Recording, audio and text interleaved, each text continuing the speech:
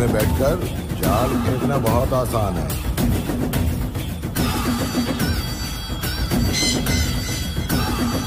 पुष्पा पुष्पराज झुकेगा नहीं।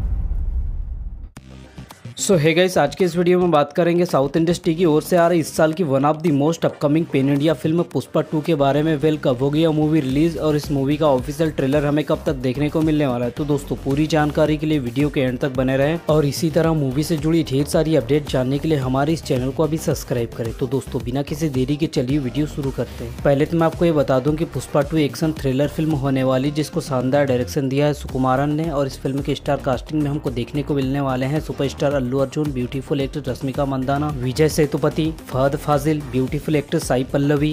Anasuya Bharadwaj और प्रिया मनी जैसे शानदार कलाकार। और इस फ़िल्म को रिलीज़ कर दिया जाएगा इसी साल 15 अगस्त को पेन इंडिया लैंग्वेज और अब बात करें इस फ़िल्म से आ रहे बड़े अपडेट की तो इस फ़िल्म के मेकर्स ने हाल ही में ब्यूटीफुल एक्ट्रेस अनुसया भारद्वाज का एक फ़र्स्ट लुक पोस्ट आउट किया है, जो की देखने में काफ़ी खतरनाक लग रहा है। और इस फ़िल्म का ऑफिशियल ट्रेलर को लेकर कोई भी अपडेट अभी सामने नहीं आई है। जैसी इस मूवी से अपडेट आती है तो मैं आपको इन्फो कर दूँगा। तो दोस्तों, इसी तरह मूवी से जुड़ी ढेर सारी अपडेट जानने के लिए हमारे इस चैनल को अभी सब्सक्राइब करें। तो मिलते हैं आपसे नए वीडियो में नए अपडेट के साथ में। तब तक के लिए बाय टेक केयर